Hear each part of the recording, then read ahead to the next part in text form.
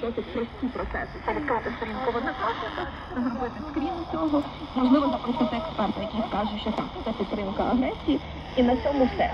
Людина, яка, наприклад, і не мала можливості чи не мала бажання займати ці посади, погодиться з обвинуваченням, і справа просто буде закрита. І це можна поставити галочку.